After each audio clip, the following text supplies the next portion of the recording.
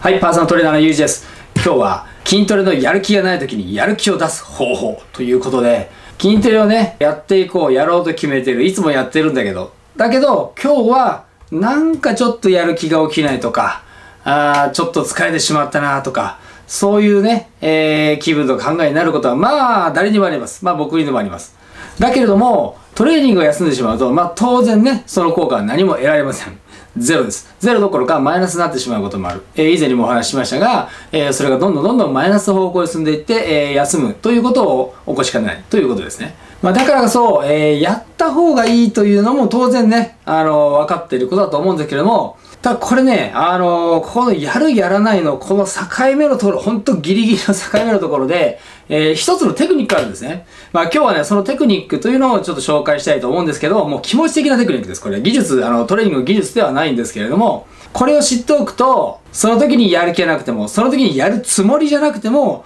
えー、うまく全部いけちゃうよというやり方なんですね。えー、これね、僕もね、30年トレーニングしてきて、まあそういうことが多々ある中で、自分でそういうことが分かってきて、自分がやる気がない時もそれでうまくいくんだなということが、まあ分かってきたわけです。まあそれをね、その30年の蓄積が、このほんのギリギリのところをやるかやらないかという方法だったりするわけですけれども、えっとね、これね、まず、そのトレーニング今日あるという日、えー、で、そのトレーニングをやるかやらないか、今からまあジムに行くか行かないかというこの瞬間ですね。えー、あるいは部屋でトレーニングするにしても、今からね、やるかやらないかというこの瞬間に、今日のプログラム全部を考えちゃダメです。今日は何と何と何の日だから、これを何セット何セット何セット、これをやったらこれぐらい全部ある。ということを考えてしまうと、多分やらないです。そこをね、考えてしまうとやっぱ荷が重すぎるんです今のその瞬間の疲れた自分にとっては荷が重すぎるんですよだそうするともうやめちゃうやらないそもそもがね、トレーニング時間が週5回、6回取れるような人っていうのはそもそもいないので、えー、やると決めたその日にやっぱりやらないと、1週間丸々空く人もまあ結構いると思うんですよね。だから、ここはやっぱり逃したくない。で、その時に、疲れる時に全部のカリキュラムを思い浮かべると、きついな、できない、なっちゃうわけですね。で、そうじゃなくて、もうね、この時ね、何も考えないでください。何も考えない。もう何も考えず、ぼーっとしてです。ただ、今日はやる日ということだけを考えてればよくて、とりあえずジムに行って、とりあえず1セットぐらいだけまあやろうかなぐらいな感じ。とりあえず着替えて1セットだけやってみる。まず1セットだけやってみる。その時に、まあ、実際の自分のね、えー、メインセットよりも多分半分ぐらいの重さだと思います。それを、まあ20回ぐらいの回数やってみる。とりあえず20回やってみる。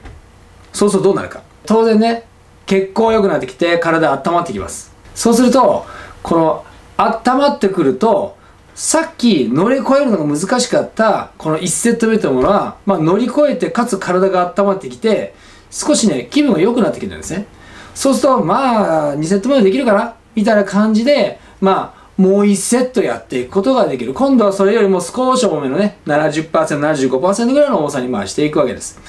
えー、そうすると、体ね、もっと温まってきます。で、このぐらいになってくると、だんだんだんだんね、自分のこのアドレナリンが出てくるんですね。筋トレをやるというのは、まあ変な話ですけど、例えば動物とかがぐーっと怒った時にはこうアドレナリンが出てくるわけですよ。興奮するような状態になってくる。その状態に入っていくと、もちろんトレーニングがガンガンできるわけです。ボディービルダーの人が刀剣のような感じでグーってやってる時ありますけど、あれってまあほとんどその状態の、ま あ動物に近いような状態って言ったらちょっと失礼ですけど、まあそのぐらいのレベルにこう結構興奮状態に入っていってガンガンやってるわけです。トレーニングをするということは、これ1セットやってもちょっとそっちに近づいていくんですね。重いの持ち上げてグーッとやっていくのは少しそっちに近づいていくことができるんですね。で、そこを段階をわざと経ていくということ。で、1セット目をやって少し小さい階段を上がってあげる。それで、えー、少し体が温まってきたら全然2セット目もまあやってみようかなと思ってやってみる。で、3セット目に入っていく。もうね、3セット目が終わった頃には、もう体は全然温まりきって血行も良くなってきて、そしてそのホルモン状態もね、すごく良くなってくるので、もう、こっから先は全然問題なくやれてしまうという感じなんですね。だから、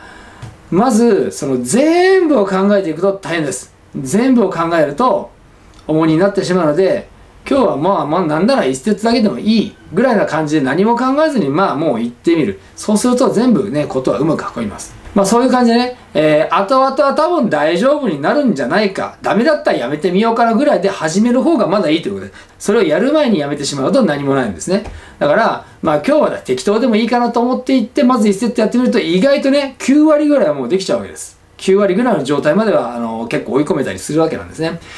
なので、えーと、その事実を知った上でそれを利用してほしいということですね。で、それと同時に、えー、そのね、1セット目入る前には、えー、ちょっとね、やっぱり自分の好きな音楽を聴きながらやってほしい。まあそれは、えっ、ー、と、自宅ならその部屋で流してもいいし、えー、ジムであればもうイヤホンで聴いてもいいんですけども、自分の好きな曲を流していく。できればね、ビートが聴いてる、えー、音楽の方がいいと思いますね。まあ僕なんかちょっとロックだったりしますが、えっ、と、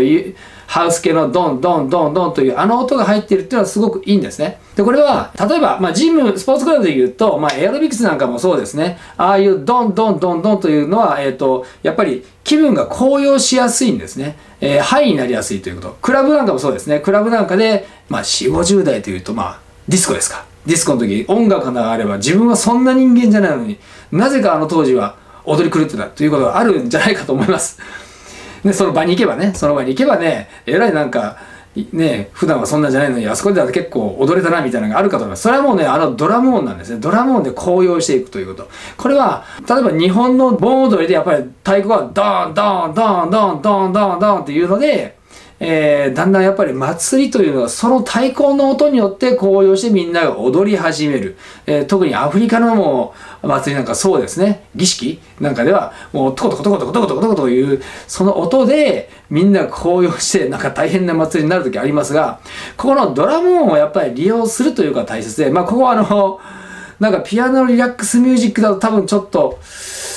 どうかな。僕はそれやったことないんで、まあそれよりは、えー、ドラム音がドンドンドンドンと入ってるような曲、ハウスだったり、まあ、ロックなんかもそうなんですけど、まあ、ヒップホップ系でも入ってるかなと思いますけど、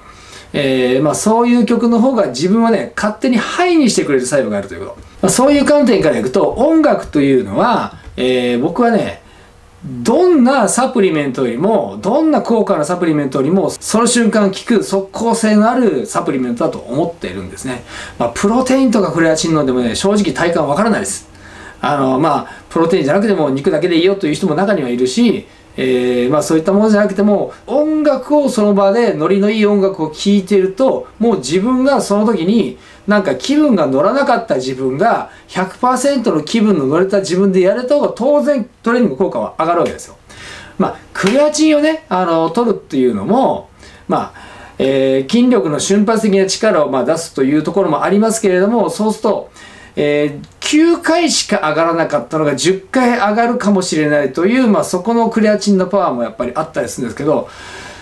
まあ、音楽って正直それもちょっと可能になってくるんですね。これを、えーと、音楽のその効果というのを研究した大学の先生とかもいるんですけど、その論文を読んでもやっぱり、えー、音楽、そういう音楽を聴きながらやってった方が、ハイテンポの音楽を聴きながらやってった方が、まあ、有酸素運動ですけど、その時の研究は有酸素運動ですけれども、えー、通常よりも、まあ、えー、スピードとかが10%かそこから高いレベルでみんなできたという結果もあるらしいので高いレベルのことができるということです。これってやっぱりすごいサプリメント効果で、えー、まあ物をね、あのー、そういうサプリメントとして売ってると全く別なそういう宣伝のされ方はしない気ですけれども僕これはね音楽そういう音楽を使うのはかなり効果の高いものなのでぜひこれは利用してほしいということだからまず、えーと入る前に音楽を聴き始めるそれからまあとりあえずえー、気持ちは7でもいいので、まず1セット目に入ってみる。この2つですね。この2つさえ、もうね、あの、自動的になってくる。もう何も考えずに、もう、やる気を出す必要もないです。あのー、なんか、大会にね、出る感じの人を思い浮かべて、100%ぐーっという燃え上がるような、やる気がなきゃいけないわけじゃなくて、その時になんとなく始めてもいいんですよ。なんとなく始めて音楽聴きながらやったら、結局のところ100%やっちゃいましたというところまで行っちゃえばそれでいいわけですから、えー、今のようなまず音楽を使うということ、それからまず1セット目だけとりあえずやるということ、えー、ここをやっていけばトレーニングが抜けるということは、まあ、ないですね。そうすればあなたの勝ちです。頑張っていきましょう。はい。パーサートレーナーのゆうじでした。